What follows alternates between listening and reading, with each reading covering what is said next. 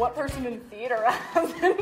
No, I no, totally. Everybody has felt like an outsider. Everybody has felt like they've been made fun of. Absolutely. I don't know if anyone makes it out of childhood unscathed.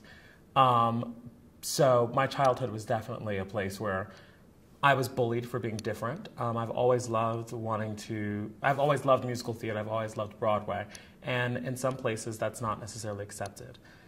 Um, so yeah, I was picked on. I was bullied. I was, you know, shoved against lockers. I was stories were made up about me that weren't true.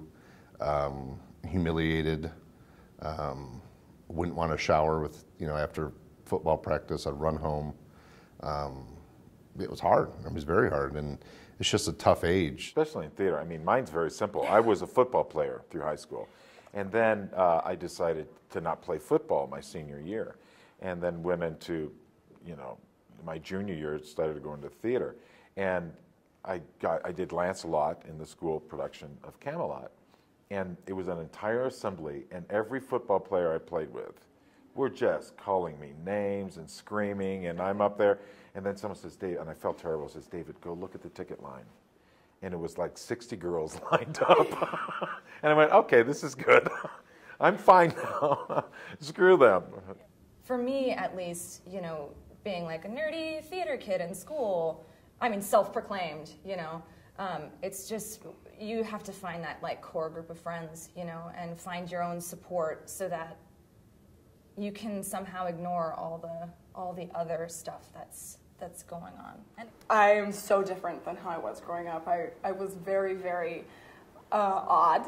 I was an odd child. Um, I was, you know, and I know I was totally outcast and, and, and not popular, um, you know, but, but that was always okay because I had, I knew myself. But, I mean, I was, I, I certainly was bullied growing up uh, a little bit. I mean, it, you know, in middle school, Yeah, yeah. there was a bully that I couldn't shake, and I think I used comedy and being just Yeah. a huge dork to kind of Navigate. go navigate that. I made it a point to be friends with everybody. I was friends with the jocks. I was friends with the the um, gearheads, the guys in the auto shop. I was, you know, drama. I was friends with the people in the drama.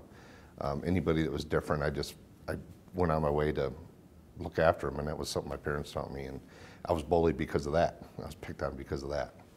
Yeah, and that's different. also the, the premise of this show, is Yeah. well as different. Um, but, you know, different people can be extraordinary. extraordinary. Lola's extraordinary.